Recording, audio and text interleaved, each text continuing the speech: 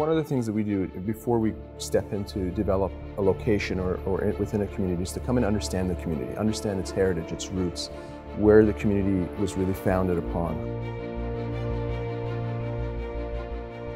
What we want to do is to develop at this whole foundation or this whole vision where it's so fluid, it blends in through the whole community, the, the landscape, the views, the streetscape, the shopkeepers that are there, the, the, pedestrian traffic that flows through, that you look at it and you say that this architecture and this development really added value to that community.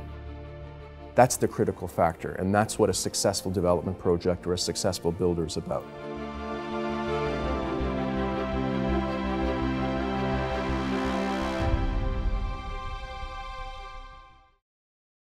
And that feel you can't translate on paper. It's not something you can write and you can read about.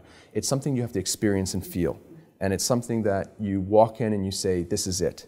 There's a wow factor in it. You can't articulate it, you can only experience it.